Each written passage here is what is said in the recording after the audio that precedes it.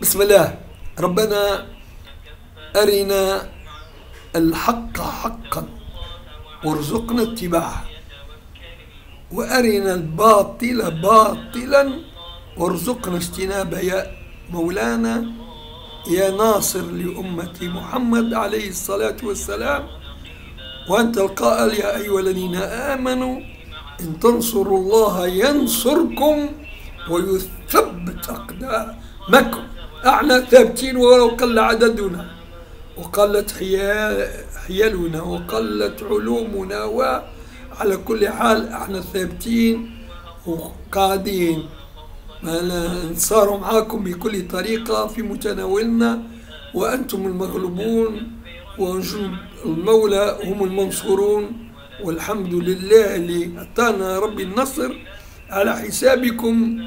يا أهل الخسران وأهل البهتان دنيا وآخرة فأنتم نصيبكم خسران لا شك فيه.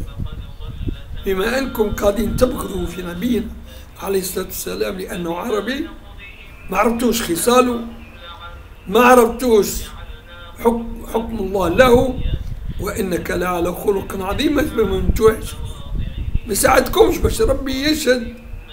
باش يعطي مرتبة لنبينا على عليه الصلاة والسلام فوق الخلق العظيم. وكنتم صاحب أخلاق. آه صاينا شعب الله المختار.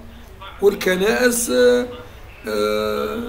يعبدوا في ابن الله سيدنا عيسى عليه السلام ابن مريم عليه السلام يعبدوا فيه ولا هو الرب ودائما تلقاهم في في ترهاتهم وهذياناتهم. جيزوس جيزوس جيزوس ويبدأ.